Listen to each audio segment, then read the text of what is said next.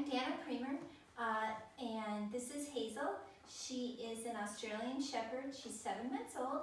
She's actually my, we have, I have another um, Australian Shepherd named Ozzy. He's a year. He's also gone through Bulletproof.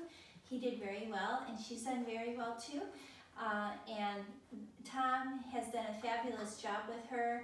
She's much better uh, on commands and listening to um, and listening to commands as well. Uh, she's very well loved and taken care of here.